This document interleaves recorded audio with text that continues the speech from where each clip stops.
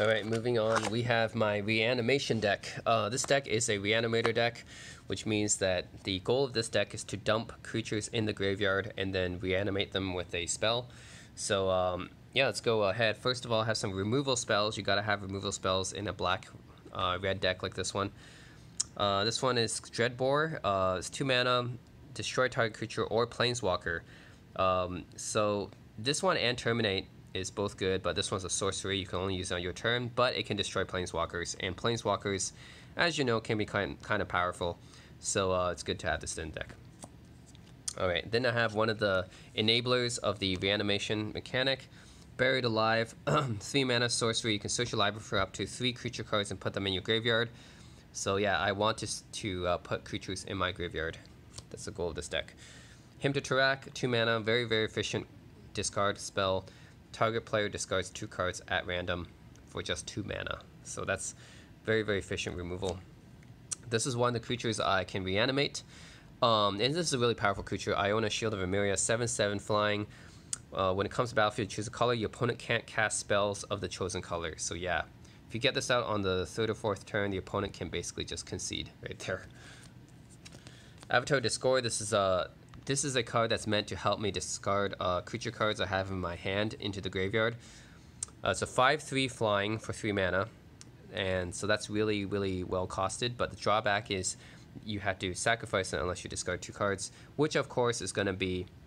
I'm not going to play this unless I have good cards to discard, so if I have some extra creature cards like Iona in my hand, I can discard it using this card. And I get a 5-3 flying on top of that. So Terminate, um, not quite as versatile as the Dreadbore, but it can't kill Planeswalkers, but it's an instant, so you can use it on your opponent's turn. And it can't be regenerated. I guess Dreadbore you can regenerate. Interesting, okay. Okay, Exhume. This is one of the reanimation cards, very powerful one, just two mana. Each player chooses a creature card and graveyard puts that creature into play. So as long as the opponent isn't playing a reanimator deck, you're going to be uh, pretty good here because you're going to probably have better creatures in your graveyard than they do. So yeah, just two mana Exhume. Um, Broodmate Dragon, another one of my reanimation targets, um, have this card because when it comes into the battlefield, you get another 4-4. So you get two creatures for one creature. So if your opponent has removal, they have to use twice the removal. So that's good. It's flying too. Avatar Woe is another creature I can reanimate. Um, 6 5, 10 or more creature, yeah, that doesn't matter too much, but has fear, so it can't be blocked by. I believe this, this ability is not going to appear anymore in cards. Um, this creature can't be blocked, so about artifact creature or black creatures, and then tap destroy target creature. That's a really powerful ability. So, yep, Avatar Woe. Uh, this is another card to help me discard, Faithless Looting. It's basically a careful study for red. Um, draw two cards and discard two cards for one mana very, very efficient to uh, dig deeper into your deck and to get rid of your reanimator creatures in your hand at the same time.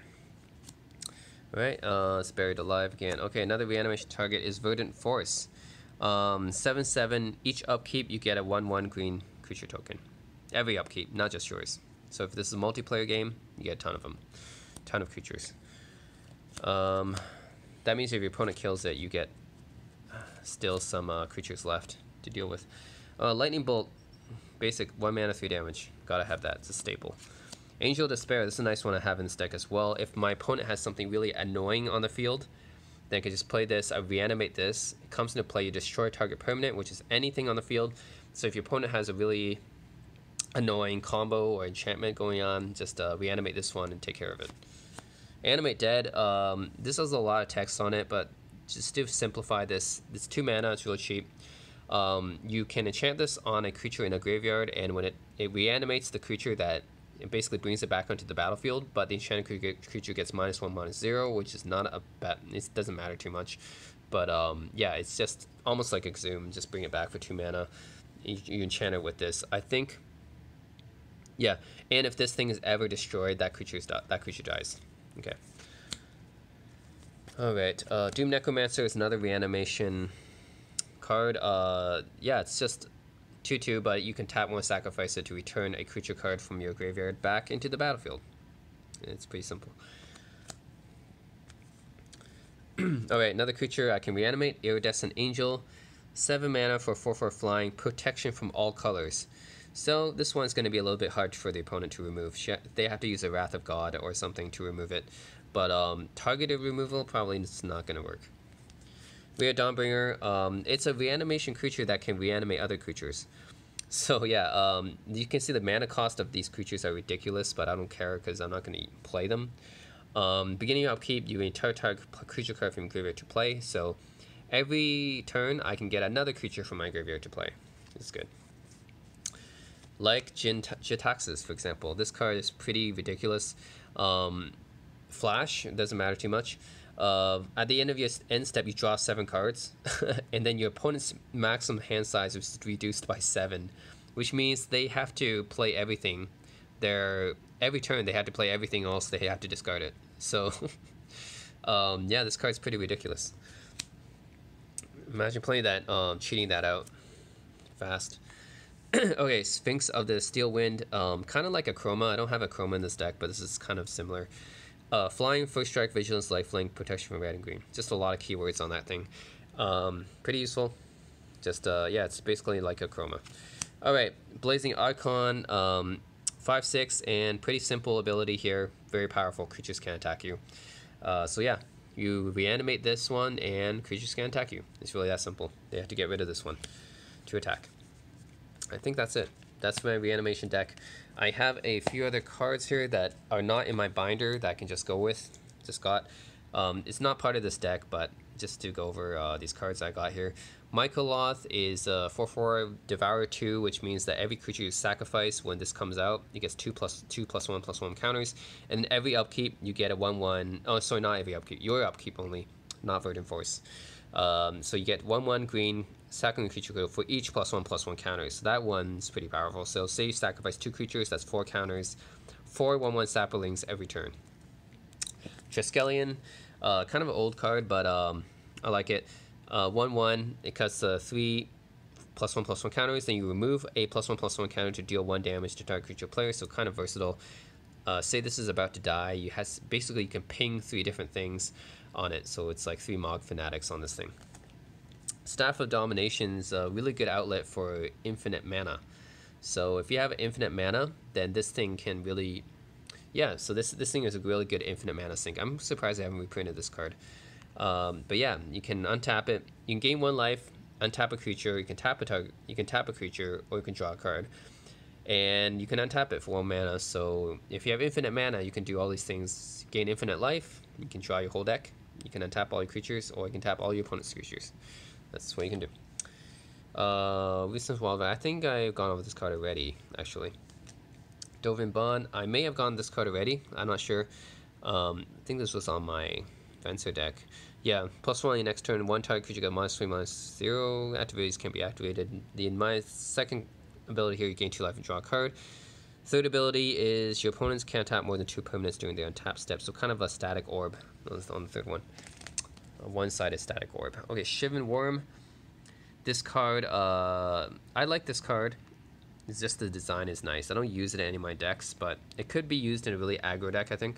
5 mana for 7-7, first of all, is really good mana cost, and it's trample as well. But when it comes to play, you can return a red or green creature to your hand. That can actually be an advantage, because you can bounce back something like a Flametongue Kavu or something that has a come into the battlefield effect. So yeah, you play Flame, Flametongue Kavu, you would kill like a 4-4, then you would use a Shivan Wurm, oh it's a 7-7 trample, and you get back your Flametongue so you can play it again. Yeah, it's a nice creature. Panoptic Mirror.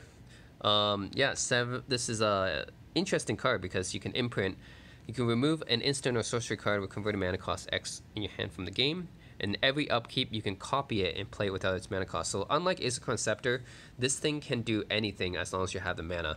So say you have, um, it, so sorceries too. So say you have, um, I don't know, time reversal. time reversal will be crazy actually. What if you have like something that says take an extra turn, like walk the Aeons, for example. Okay, say you have a walk the Aeons, that's six mana, you take an extra turn after this one. That's what the sorcery has. Play six mana, you put it on this thing, every turn you take an extra turn, which means you have infinite turns. So how crazy is that? Weatherseed Treefolk, uh, 5-3 trample, when it dies, you get it back to your hand. Pretty simple, and I'm. this is actually maybe on the reserve list, I think. Yeah, pretty simple. Uh, ability, not too powerful. Uh, just cool. That's all. Blade the Risen. Um, I was originally had this in my Reanimator deck, but I took it out because um, I like Broodmate Dragon a little bit better. But yeah, this thing you have to have another dragon in your graveyard. But when it comes back, you get another dragon from your from your graveyard into play, so you get two creatures back. Um, but I like Broodmate Dragon to get better because this one this one requires you to dump another dragon in the graveyard, and this four four is really not that powerful. So, yeah, and I like to just have uh, Broodmate Dragon. I can just have that one and not have other dragons in the graveyard. So yeah, that's it. Reanimation.